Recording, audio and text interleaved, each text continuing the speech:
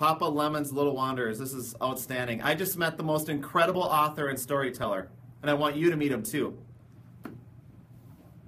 Hi, kids. I'm Lehman Riley, the author of Papa Lemon's Little Wanderers. And Papa Lemon was my grandfather. And I would like for you guys to climb on board his train and learn about America's diverse history. We all have a great story to tell.